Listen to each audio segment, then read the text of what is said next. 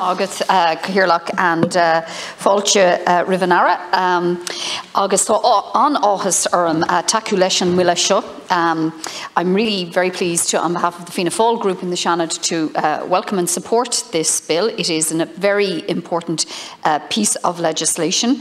Uh, the bill provides for Irish water to be separated from Air Via and to allow it to act as a standalone national authority for water services.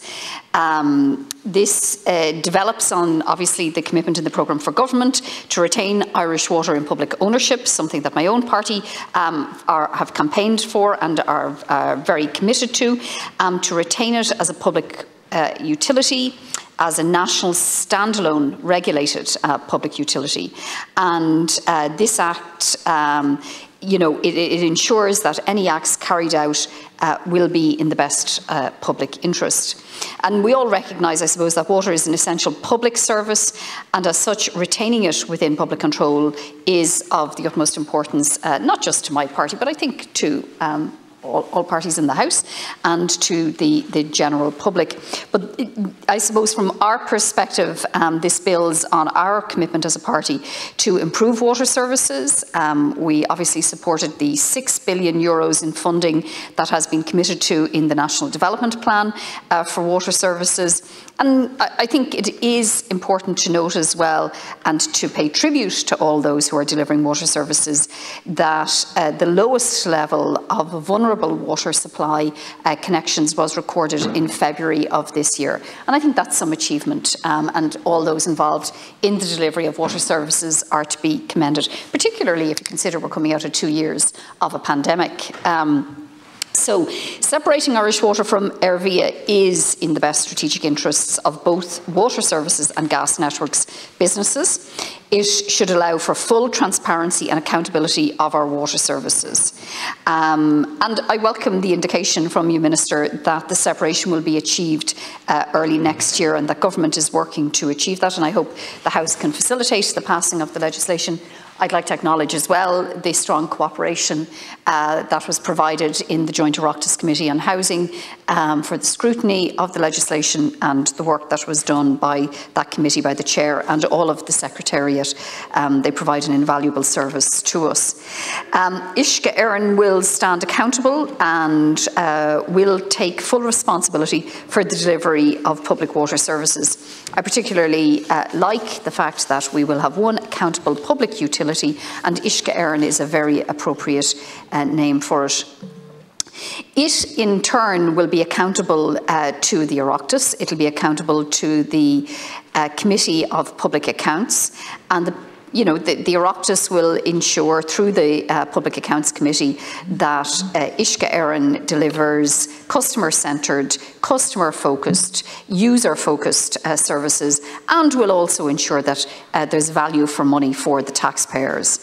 As such, Uisce Éireann will be subject to parliamentary scrutiny and it will have to present its accounts to the Minister who will obviously then in turn lay them before both houses of the Oireachtas, which again gives both houses of the Oireachtas the opportunity to scrutinise the performance of um, Uisce Éireann and to hold it to, to account. And these are really welcome developments and I think absolutely appropriate for a public uh, utility. Um, government obviously uh, will appoint through the Minister uh, the board and directors and uh, that will be done through the Minister for Housing and Local Government, um, but there will also be consent required for the Minister uh, for Public Expenditure and Reform. And the Minister will have the ability to remove a director if that director is either incapable due to ill health um, or engages in behaviour which is inappropriate uh, for a director of such a public, an important public utility. The directors themselves will have a limit of two years, and I think that's really a, a, a good idea. I think it promotes fresh ideas, um, it promotes enthusiasm and energy uh, around the role of being a, a director, um, and the fact that there will be a transfer of staff um, that's very important I suppose that we don't lose that knowledge, we don't lose that um, institutional experience uh, and knowledge. And when I talk about staff, I, I, want to really acknowledge, I suppose, from the City of Dublin, um, Dublin City Council's staff. I was a city councillor myself when Irish Water was set up. I have to admit in this House that I opposed it vehemently. Um, I had very serious questions about the transfer of the assets um, from the local authority. Uh, there have absolutely been issues around the delivery of services, um, water services, quality of water services. I, you know, things come, places come to mind for me, like Cabra, the water pressure, and, and, and other areas within my own constituency. But I wouldn't let today's debate go by without paying credit uh, to all of the staff um, of my own local authority in Dublin City, but all local authorities um, who have provided really excellent service down through the decades.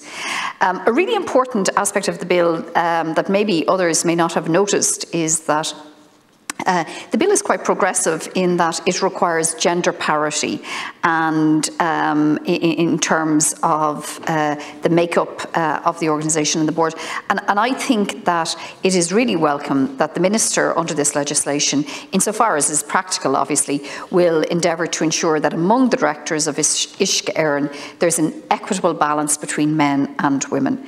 Um, and, I, and, I, think that is uh, a really welcome uh, development, and it's one that I'd like to see replicated in any future uh, public uh, bodies being established by either this government or other governments.